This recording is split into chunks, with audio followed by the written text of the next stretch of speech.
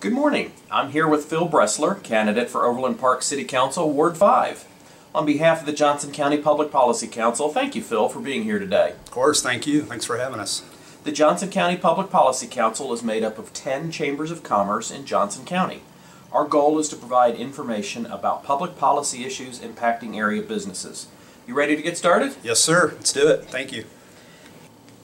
In regard to economic development, it has been argued that incentives aren't necessary because development will occur naturally without them being offered.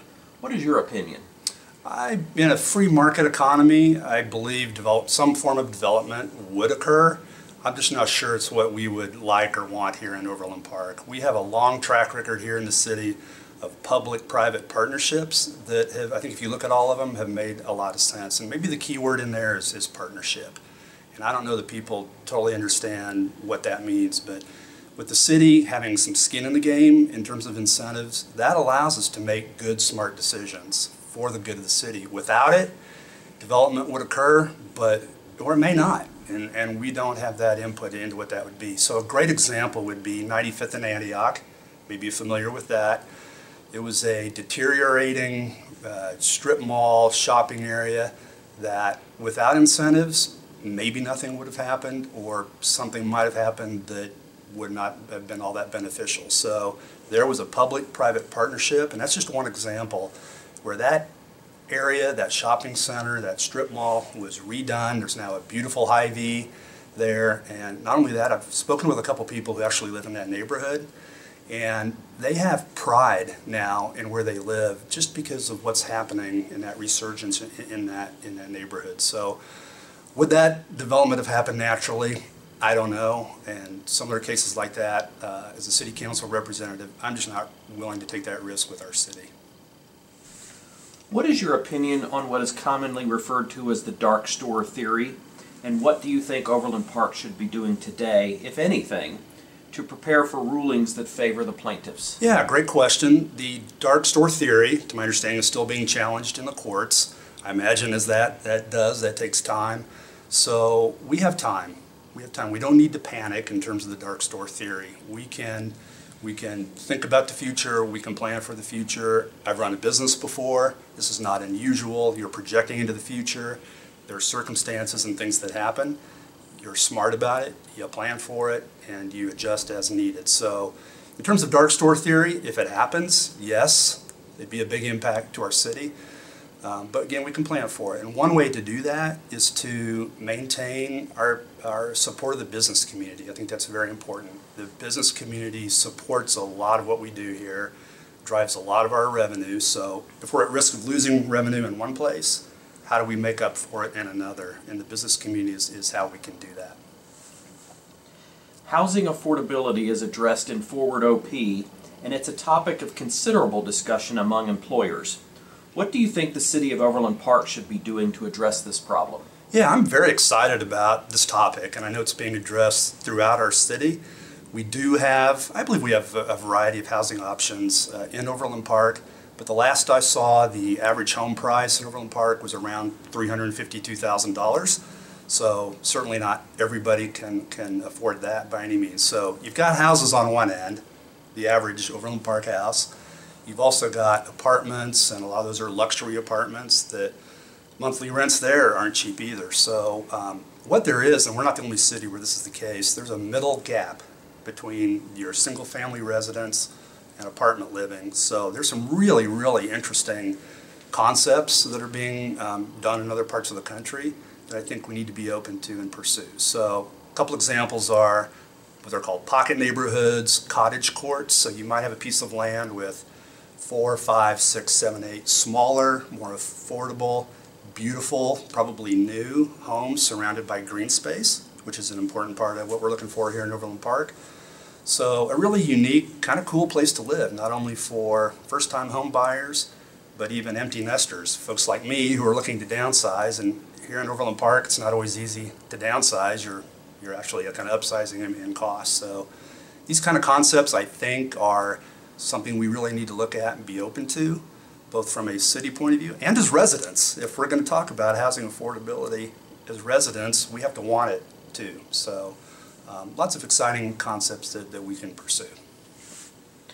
In the short term, it appears we can keep our mill levy unchanged to meet current budget obligations. However, sluggish sales tax collections and increased demands on infrastructure from growth could necessitate a change. What are your thoughts on our current budget and the outlook for the future? Yeah, I'm pretty positive about the future, and I'm very confident in, in our city and our city staff. I know they, they do a great job with our budget and looking ahead, and it's not all just about today, it's, it's, it's projecting into the future. So, again, I just mentioned that as a business person, that's what I've done, and you, it's, it's just reality. You manage the ups and downs. So, um, one, again, another way, though, to, to address and keep the mill levy low, and I'm probably sound like a broken record, is um, if we want to keep our property taxes low as individuals, uh, we need to support the business community. I don't know if everybody knows this, and uh, I've learned a lot as I've been running for office here, but corporations pay uh, a 25% tax rate on their assessed value. Individuals, residences, we pay 11 and a half. So that's a pretty good deal. So the more we can support the business community to to help us with our budget, I think that's a good thing. The governors of Kansas and Missouri have recently forged a truce in the so-called economic border war. Do you support their actions, and what impact do you believe their agreement will have on Overland Park?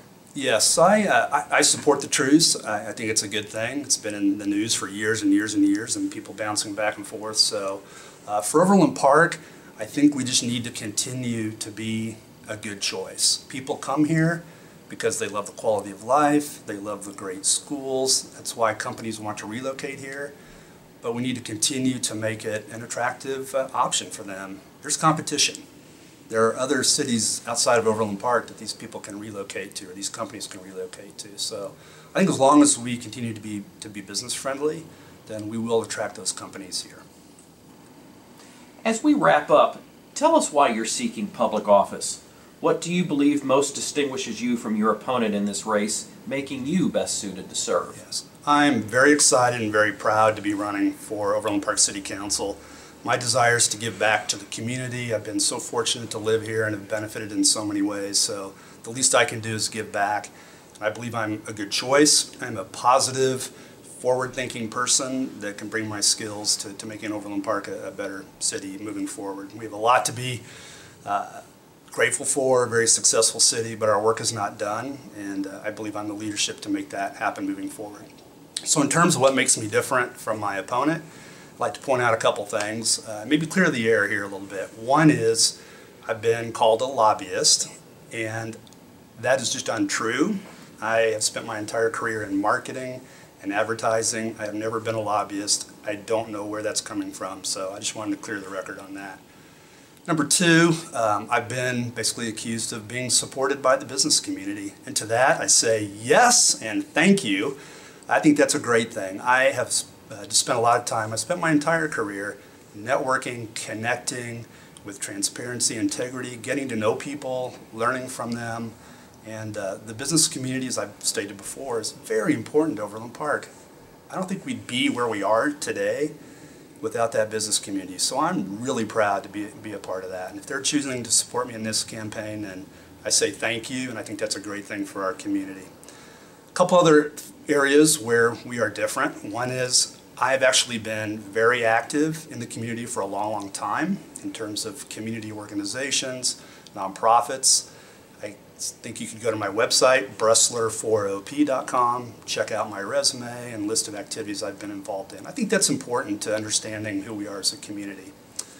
Another point of difference is uh, I believe very strongly in the Blue Valley Public School District. My wife and I chose to send our two boys to public schools.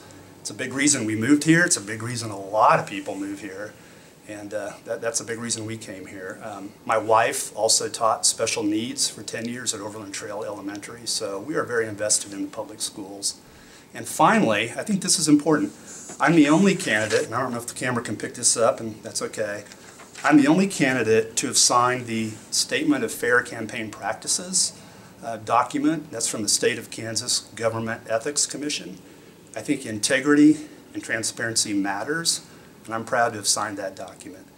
So again, thank you for this time. Uh, I, if you're looking for a positive candidate who can lead the city into the future, who just believes in integrity and transparency, I'm your candidate. So thank you again for allowing this, uh, this time, and uh, I'd appreciate your vote on November 5th. Well, thank you for spending some time with us this morning, and we wish you the best of luck with the election. Great, thank you very much, I appreciate it.